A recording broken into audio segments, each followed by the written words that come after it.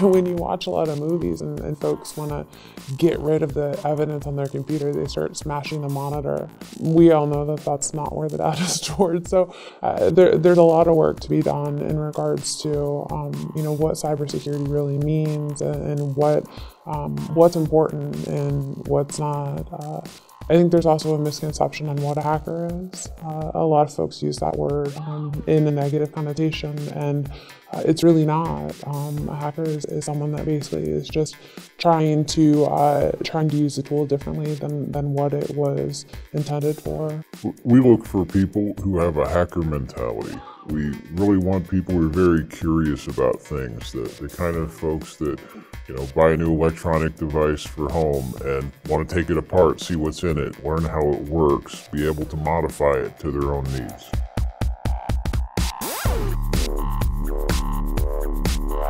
The Lockheed Martin Cyber Kill Chain is actually now an industry and government adopted standard. Uh, it was developed by the Lockheed Martin Computer Incident Response Team and is a way um, of changing the paradigm to give cyber defenders actually the advantage in responding, detecting, and avoiding uh, cyber attacks.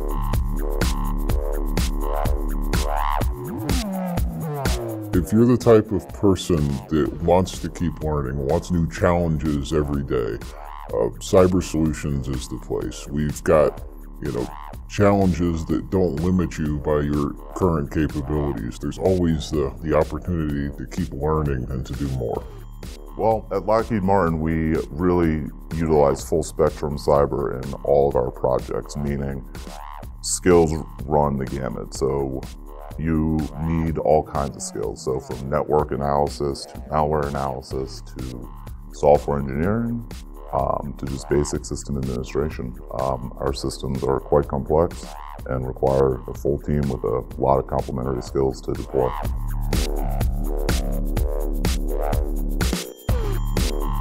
when talking about cybersecurity, it's the lives of men and women in our armed forces.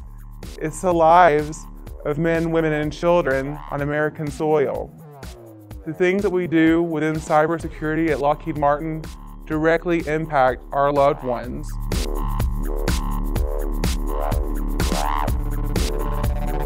Yes, I consider myself to be a hacker. I think a hacker is a person who has this curiosity, this desire to know how things work, and keeps learning to understand this. In my role as a cyber analyst, I'm not a traditional hacker. I'm the last line of defense before a product is deployed to a customer. I would consider myself a hacker, uh, not in the classic sense where people think that uh, a hacker is evil. I am proud to be a hacker. Um, being a, being a hacker is a, is a bit of a badge of honor in the nerd subculture that we have here.